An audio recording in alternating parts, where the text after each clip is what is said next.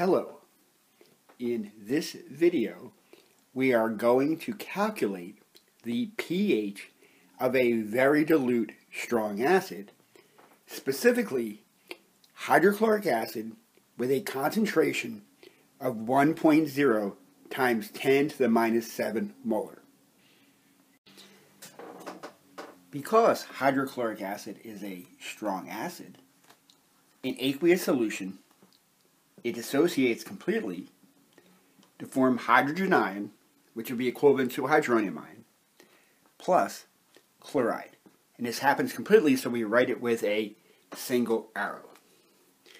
Because of that, we know that the concentration of H plus that is formed as a result of the dissociation of HCl, which we'll write this way, has to be exactly equal to 1.0 times 10 to the minus 7 molar because there is a one-to-one -one relationship between the concentration of HCl and the concentration of hydrogen ion that comes from it. The other important reaction that is going on is the auto dissociation of the solvent to form hydrogen ion plus hydroxide ion. And we recall that the equilibrium constant expression for this is the concentration of H plus times the concentration of hydroxide, which is equal to the association constant for water, which we call Kw, which has the value of 1.0 times 10 to the minus 14. Now, it is important to note that in this equilibrium constant expression, this relationship is true whether we have a pure solution of water or we have other ingredients dissolved in the water. So that means that this H plus is actually the total amount of hydrogen ion in the solution. So let's write down the important relationship that the total amount of hydrogen ion present has two sources. One of the sources we saw already is from the strong acid, hydrochloric acid, or HCl. So we note that by putting a subscript of HCl, that's the hydrogen ion that came from HCl. But there's also some hydrogen ion that's going to come from the autodissociation of the solvent. Which I'll write as H2O being the subscript. Next, we want to assign a variable. So we're going to call this variable y. And the variable y we're going to set equal to the hydrogen ion that we get just from the dissociation of water. And the reason why we want to do that in this case is we know that there's also a one-to-one -one relationship between the amount of hydrogen ion that comes from water and the amount of hydroxide that comes from water. So this is also equal to the concentration of hydroxide. And we'll just put down the subscript of H2O. There's only one source of hydroxide here, but we'll put down H2O just to remind us that that's where we're getting that particular relationship. To solve, we are going to need to make two substitutions, which we're going to show consecutively. The first substitution is to substitute the value y for the concentration of H plus due to H2O into this expression for the total concentration of hydrogen ion. So we have H plus total is equal to the amount of hydrogen ion that came from the hydrochloric acid and then plus the hydrogen ion that came from water, which we've decided to call our variable y. Next, we want to substitute into the equilibrium constant expression Kw. We have a relationship here for the total hydrogen ion concentration. So let's put that down first. So we have the concentration of H plus from the hydrochloric acid plus our variable Y. And then we have the concentration of hydroxide. But remember, that's also equal to the variable y. So that's where that comes from. And this is all going to be equal to Kw, which is 1.0 times 10 to the minus 14 at 25 degrees centigrade. Next, we can apply the distributive law and basic algebraic techniques to convert this into the quadratic y squared plus the concentration of H plus due to HCl times y minus 1.0 times 10 to the minus 14th, which is equal to 0. We also recall that in the problem, we were initially given the concentration of HCl, which is equal to the concentration of H plus that comes from it because hydrochloric acid is a strong acid. So that leads to the quadratic y squared plus 1.0 times 10 to the minus 7 times y plus 1.0 times 10 to the minus 14th is equal to 0.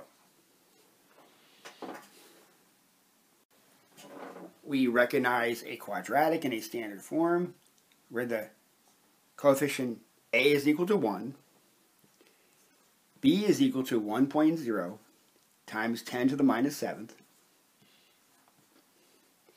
b squared is equal to 1.0 times 10 to the minus 14th.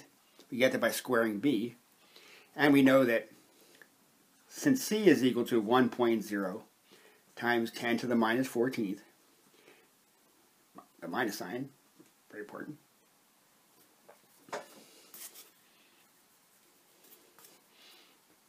minus of course, uh, then 4ac is equal to minus 4.0 times 10 to the minus 14th. Now we apply the quadratic formula. We get that y is equal to negative b, which is so minus 1.0 times 10 to the minus 7, plus or minus the square root of b squared, which is 1.0 times 10 to the minus 14th, minus 4ac, so minus and minus, so we have plus 4.0 times 10 to the minus 14th. And this is all divided by 2. Now to have a physical answer that's not unrealistic, we know that concentrations can never be negative, so we're going to be seeking out the solution y that gives us a positive value. So solving, we get that y is equal to 0.618 times 10 to the minus 7 molar. And this is the concentration of H plus that was formed from the dissociation of water.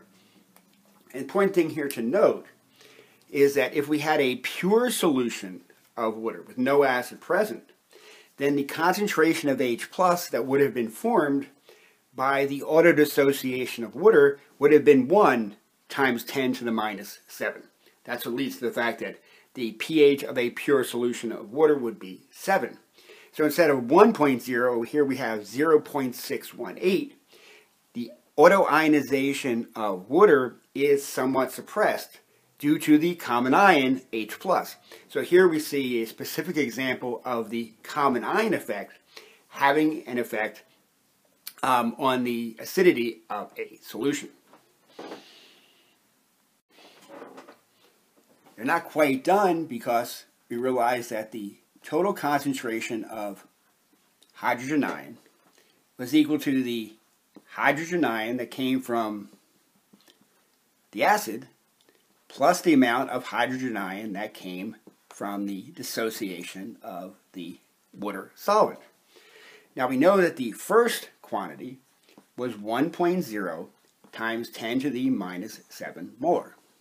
Because that is exactly the concentration of the strong acid.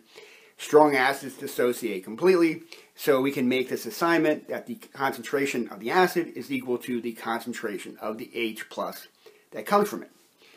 we've just derived that the concentration of H plus that comes from the dissociation of water is 0.618 times 10 to the minus 7 molar. Now, if we compare these quantities, we see that compared to the amount of acid, uh, H plus that came from the acid, the amount that came from the dissociation of water is substantial. It's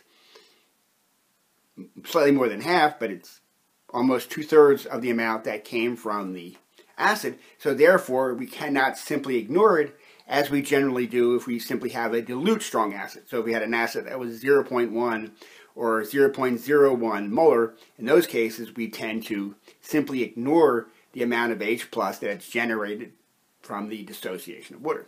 So we add these together, we get that the concentration of H plus total is 1.618 times 10 to the minus 7 molar. Finally, we recall that by definition the pH is the negative log of the concentration of H plus. That's the total amount of H plus. So the pH would be the negative log of 1.618 times 10 to the minus 7 molar. And when we compute this, the value we get is 6.79. So note that it's slightly lower than 7 because we have a slightly acidic solution, but it's only a slight decrease.